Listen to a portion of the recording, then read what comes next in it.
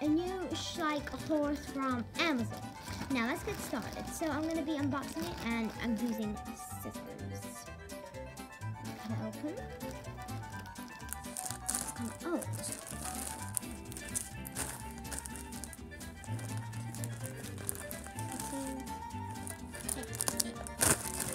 Here we go. Let's get her out. There we go. She is. She looks wonderful. Yeah.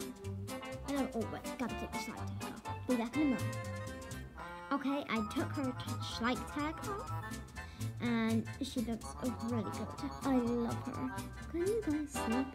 Mm, I love her so much. Oh wait, you guys can't see it.